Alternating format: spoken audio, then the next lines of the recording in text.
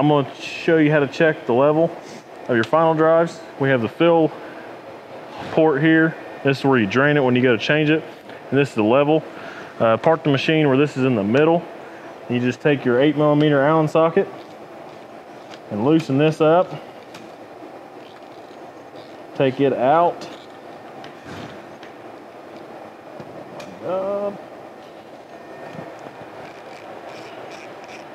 And then when oil starts to come out of it, make sure it's right at the top there.